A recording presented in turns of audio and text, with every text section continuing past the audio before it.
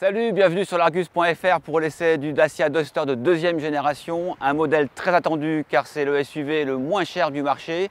C'est d'ailleurs ce qui a fait le succès du premier modèle avec 2 millions de ventes à travers le monde en 7 ans. Alors, ce Duster est-il toujours aussi compétitif? C'est ce que nous allons voir avec les qualités et les défauts. Alors, première qualité, le design. Dacia a repris le style qui a fait le succès de l'ancien modèle.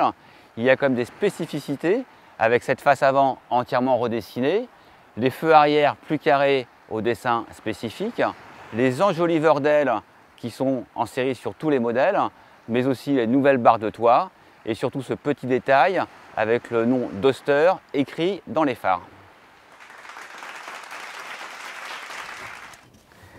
La qualité que je préfère, c'est l'évolution de la planche de bord. Le mobilier est beaucoup plus moderne qu'auparavant, les plastiques sont moins cheap, on a un écran qui est beaucoup plus haut pour être plus lisible. Un accoudoir bien pratique sur long parcours. Et le Duster reçoit des nouveaux équipements qu'il n'avait jamais eu jusqu'à maintenant, comme l'allumage automatique des phares, la carte main libre, l'avertisseur d'angle mort et quatre caméras pour aider au stationnement. Un petit mot sur les places arrière. L'habitabilité ne progresse pas, mais l'espace est déjà bien suffisant. Et on notera deux évolutions. Une sellerie avec une mousse beaucoup plus dense et désormais des rangements dans les panneaux de porte.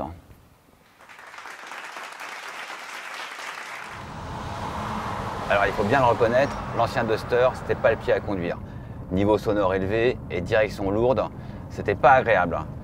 Cette fois, tout change, même si le Duster reprend le châssis de l'ancien modèle, les efforts ont été portés à la fois sur l'insonorisation et l'adoption d'une nouvelle direction à assistance électrique. Celle-ci est plus douce en manœuvre et elle est plus précise sur la route. Désormais, le Dacia Duster est un vrai SUV routier, il est moins pénible sur les longs parcours et le moteur essence TCE 125 chevaux de notre modèle d'essai apporte des performances suffisantes, hein, que ce soit en reprise ou sur l'autoroute.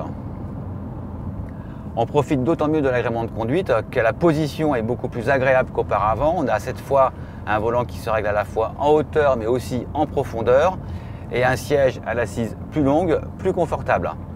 Allez, maintenant, on va aller voir ce que le Dacia Duster vaut en tout terrain. Et oui, le Duster a eu toujours bonne réputation en tout terrain et cette version est encore très efficace. Elle absorbe même les trous et les bosses de manière assez euh, étonnante. Et grâce à la garde au sol de 21 cm, on ne frotte pas au premier caillou venu.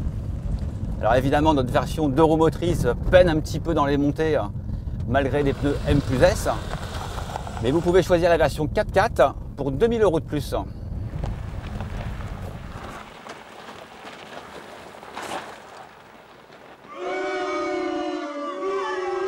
Alors le premier défaut concerne la modularité. Si le coffre est d'une contenance convenable, le Duster fait aucun effort en termes d'aménagement. Il faut se contenter d'un dossier de banquette 60-40. Il n'y a ni plancher plat, ni banquette coulissante et encore moins un siège passager rabattable. Ce sont des équipements qu'on trouve chez les concurrents, mais avec le Duster, on ne peut pas tout avoir à un prix très bas. Un autre défaut, ce sont des petits défauts à bord du Duster, comme cette troisième ceinture qu'il faut aller chercher au fond du coffre, mais aussi les réglages des sièges avant peu accessibles ou la commande de la trappe à carburant qui semble fragile. Et à l'extérieur, cette serrure est vraiment moche et complètement dissociée de la poignée de porte. On regrette que la mécanique du Duster n'évolue pas du tout. Il reprend exactement les mêmes moteurs que l'ancien modèle. Il faudra donc surveiller la consommation du moteur à essence qui est de plus en plus demandée. Et sur ce même moteur à essence, on regrette qu'il ne soit toujours pas disponible avec la boîte automatique EDC.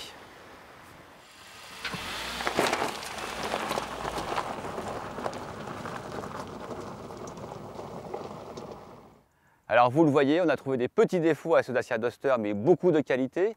La première des qualités, ça reste son tarif.